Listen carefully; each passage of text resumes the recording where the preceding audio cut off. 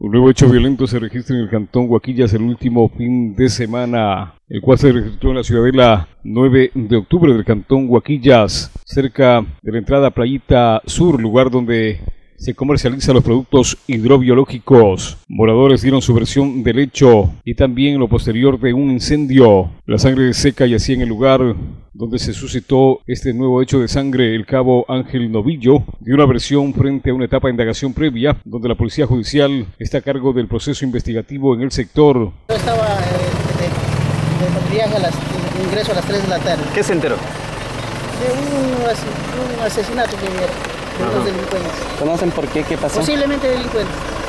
Los señores de aquí manifiestan que les ha estado robando a ellos. ¿Ya? Y ellos se han defendido. Dicen que es un cliente, no. Las investigaciones las está realizando la policía judicial. Ya, ¿Y después qué pasó? ¿Han quemado, han intentado quemar esto? Claro, la, eso es en la noche. Han intentado quemar, pero como la, la, policía está rondando por aquí, no. ¿Quién intentó pues, quemar? No se sabe, pues, tanto. ¿En represalia por el, la pues, muerte?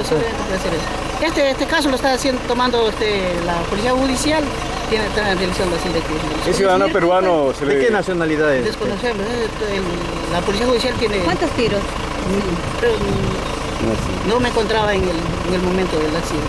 O sea, algún perjudicado actuó y lo ejecutó prácticamente, lo, ¿cómo llama eso? Lo, se desconoce. La información que... ¿El populacho? Que, no, no, no, no. A ver, no, ¿cuál es la información entonces? La información que dan los, los señores dicen que ha estado un cliente, nada más. ¿no? Ya. Toda la, la, la, información, pues no, nadie da ninguna versión. Uh -huh. Todos callan con silencio.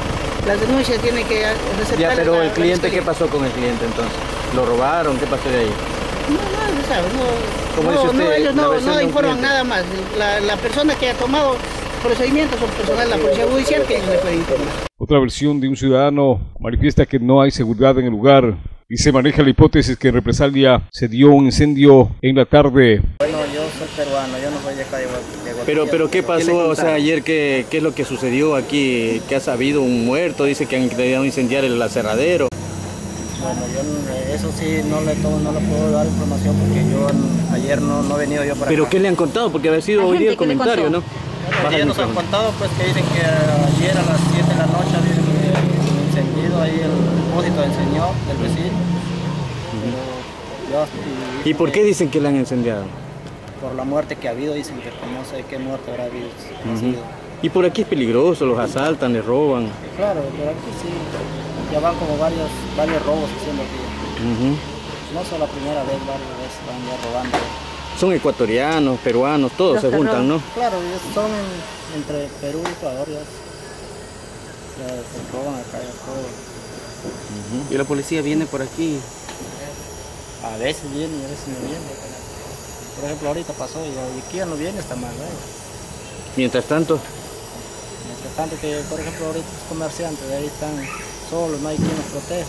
El nombre del fallecido, quien era originario de Lambayeque, Trujillo, Perú, corresponde al nombre de Denis Valdares Ríos, de 31 años de edad. Se manifiesta que existe otra persona herida que es de nacionalidad ecuatoriana. De la ciudad del 9 de octubre, Mauro López Tearo.